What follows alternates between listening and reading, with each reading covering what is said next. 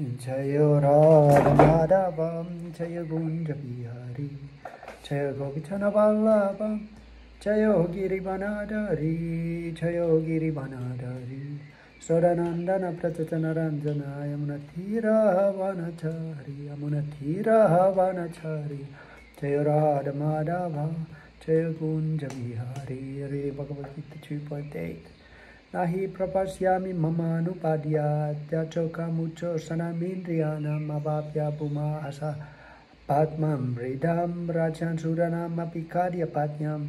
I can find no means to drive away this grief which is drying up my senses. I will not be able to dispel it, even if uh, I win a prosperous, unreliable kingdom on earth with sovereignty like the demigods in heaven. So Arjuna is, is asking help for this material con, uh, uh, condition. There's the soka, which is on the material level. There's the spiritual bhavas. Material level, this is soka is the sthayi bhava. It's this lamentation and sorrow. And it's the steady emotional state, which means that it always exists somewhere in the background. When we are material condition state, this is unnatural state we don't see the original self, and because we don't see that original self, no matter what is going on internally and externally, there's still this lamentation somewhere on the backside.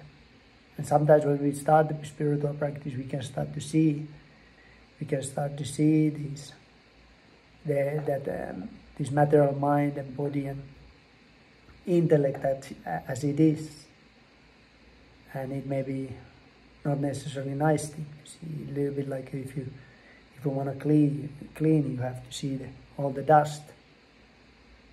In order to clean, you have to see all the dust. And same way, we have to see all these bhava rogas, these diseased emotional moods, in order to purify the consciousness. Bhagavad Gita 3,